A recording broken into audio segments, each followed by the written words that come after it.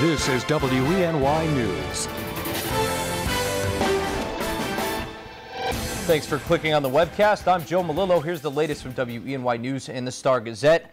We had a water main break on Water Street. It's living up to its name in Elmira. DPD crews were DPW crews, excuse me, were on the scene of a water main break near Heritage Park Apartments. Now workers say the cold played a role in the problem that started about 2 this morning. Cold temperatures turned the water into ice very quickly and as it spilled out onto the road. DPD workers were working hard to shut off the water at the valve. Drivers be careful, the road is blocked off at the time about 6 a.m. this morning, but the intersection near Washington Court and Harriet Streets could be have, have some black ice. The Elmira School Board voted unanimously to appoint Hillary Austin as the next superintendent of Elmira Public Schools. Austin has been serving as in the role for the past 11 months. She has been given a five-year contract that'll be about $165,000 a year. Austin started in the district as an intern 17 years ago. Congratulations to her. Smoking numbers have been dropping in the last couple of years, but despite that, a report shows lobbying by the tobacco industry has been on the rise across New York this year. A report by the New York Public Interest Research Group released Wednesday says the tobacco industry spent $7 million in the first half of 2013 on tobacco lobbying and campaign donations. That's more than it did in, during the 2011 and 2012 year combined.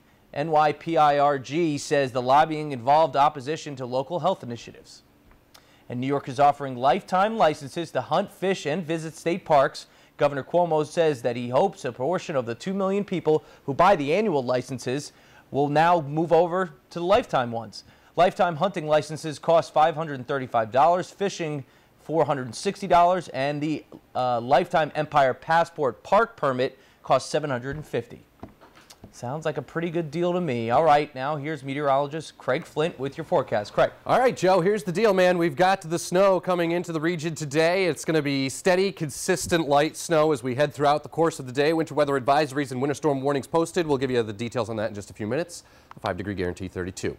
Here are those winter weather advisories. The beige shaded counties that you see here, the pink shaded counties, those are your winter storm warnings. This area is really where uh, the snow is going to pile up. Temperatures in the teens to start off the day. You can see the snow creeping northward here. Uh, we've got some heavy snow. This storm really is actually going to really start to explode once it gets to the coast. It's going to undergo what we call, get ready for this technical term, bombogenesis. When you look at the central pressure of a storm, the lower the central pressure, the lower the number, the stronger the storm, the deeper the storm. This thing is going to explode off the New England coast, and we are starting to see the effects of that storm uh, arrive here. So Future Track takes you through the day with the steady light snow.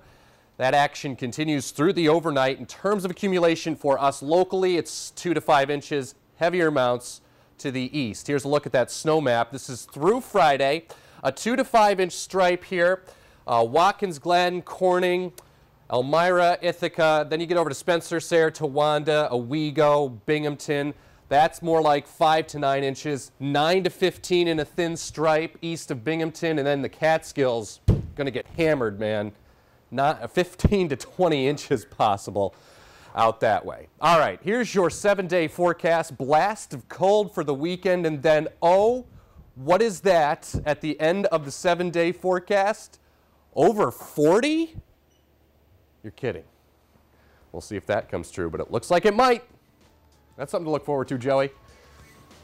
I don't know about you guys. I saw two 40s in there. Yeah. All right, Craig, way to go. You must have been praying or something. All right, for the latest news, weather, and sports, watch WENY News at noon, 536 and 11. Don't forget to pick up a copy of today's Star Gazette. I'm Joe Malillo. Have a good day.